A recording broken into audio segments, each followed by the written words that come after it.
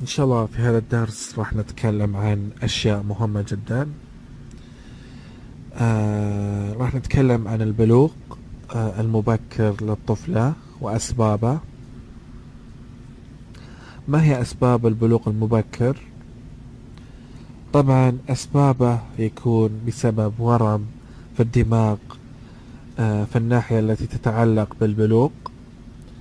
في المعنى الطبيعي آه، أو آه، آه، من الناحية الفسيولوجي خلال البلوغ الطبيعي يقوم الدماغ بإعطاء أمر إلى الغدة النخامية وهذا بدورها تصدر أمرا إلى المبيض لفرز هرمون الأستروجين الذي يساعد على نمو الثديين وأيضا بروز علامات البلوغ من ثم البلوغ الكامل وأيضا أي خلل في الدماغ يعطل هذه الأوامر وبالتالي لا يصدر وقتها الأمر بالوقت المحدد أو المقا أو المقرر أو آه الأمر آه في الوقت الطبيعي. مثلا البنت تبلغ بعد تسع سنين.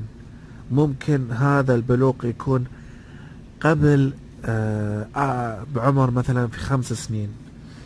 وأيضا يحدث البلوغ المبكر بسبب الأورام السرطانية وأيضا يحصل آه، البلوغ المبكر بسبب ثقب في غشاء البكارة وأيضا بسبب آه، العملية الجنسية المبكرة أو الاعتداء الجنسي المبكر للطفلة في أثناء العمر يعني الصغير.